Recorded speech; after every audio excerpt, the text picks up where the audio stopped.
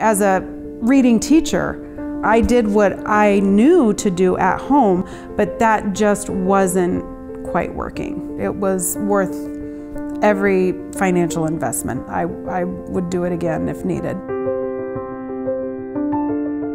I think it's a quality education in that I can tell a difference with just working with him in the evenings during the school year with homework that we have to do, um, with studying that we have to do for testing, his comprehension became much greater, and so there was a better understanding of the content that he was getting.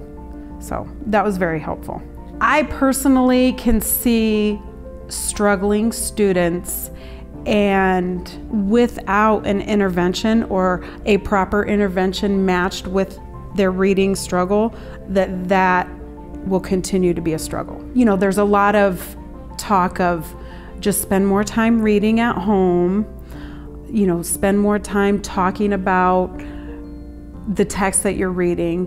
Uh, but for Ryan and for maybe a struggling reader, that just isn't quite going to make it. You can read five books a night, but that doesn't mean they're going to close the gap and just automatically become a better reader. As a reading teacher, I could not do, I did what I knew to do at home, but that just wasn't quite working as well as it something needed to.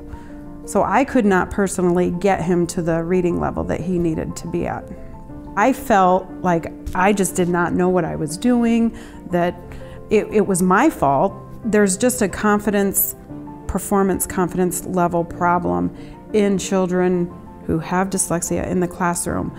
And not only is it just a lack of confidence in reading, it's all around lack of confidence of performance in it could be social situations or in, in all the other subjects. So it, it's not addressed the way that it needs to be. I don't know why. It's kind of uh, don't touch that word because the language that we use in public education is just a struggling reader. I'm able to say dyslexia because I know enough about all the symptoms of the struggles that that's what it is. But yeah, we don't say that. It is unfortunate. It is, and there are kids that are falling through the cracks and missing out on that. Absolutely. When it came to reading and it came to studying, he didn't have a lot of memories to look back on to say, I can be successful in this. Whereas athletics, he excels. He had fun doing it and it brought him pleasure, but then for, you know, sitting and reading a bedtime story wasn't near as enjoyable. It just didn't have that. I thought it was a great place to to bring a child to just become a better student and become a better reader. The staff was friendly. They're informational and review what what they studied. I did not have a problem with the charge. It was worth every financial investment. I, I would do it again if needed. I was willing to pay for a service that was going to benefit my child.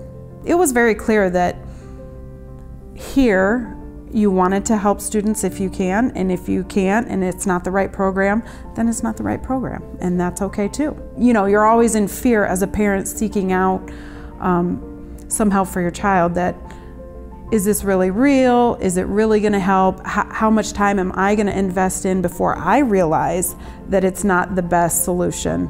So, but it was very upfront and clear from the beginning. I could see the progress. So I was knowing that I was paying for a service and participating in a program that was worthwhile. I knew and had confidence that they knew exactly what they were doing and what they were looking for and the type of student that could benefit from the program. So I had all the confidence in them because I knew that they were trained. I knew that they had years of experience already. So I knew my child was getting the help that he needed and he was getting it from trained successful teachers. He was making progress. I knew that he was just becoming a more confident reader and that the program was working.